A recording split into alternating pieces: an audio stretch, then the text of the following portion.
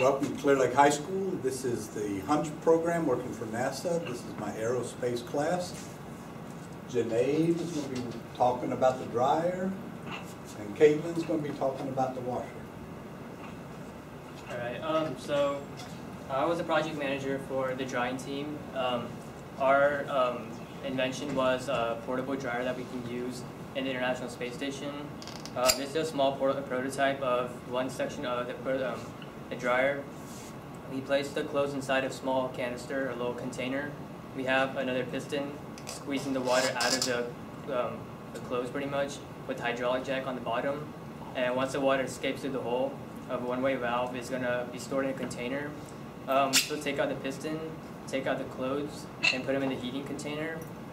Um, the heating container is the second part of the whole drying process, and the heating container pretty much heats up the clothes for a certain amount of time until the clothes are completely dry, and then you may remove the clothes and then pretty much take the water using the cooling system of the International Space Station if needed, or cleans it out if needed, and pretty much wear your clothes. I'm Caitlin. I'm the project manager for the Hunch team here that we have on the other for Clear Lake also.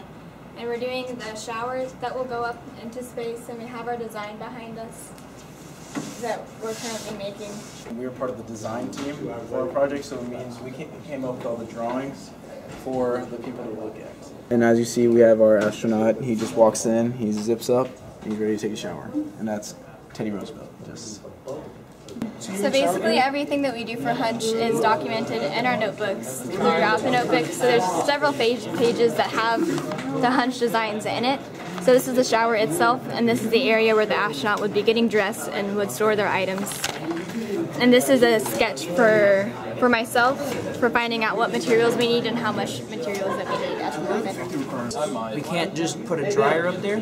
So we're pretty much making like a hair dryer to get the excess water off. This part is the final canister that we've developed. We actually put uh, supports on the outsides of it. We made it smaller, and so that when we actually decide to put the clothes in, the uh, bottle jack will be on the floor, and we'll bolt the bottle jack straight through which will be sitting down here, and you can press the clothes, press the pump into the clothes, squeezing much more water out. Thank you, NASA, for giving us this opportunity.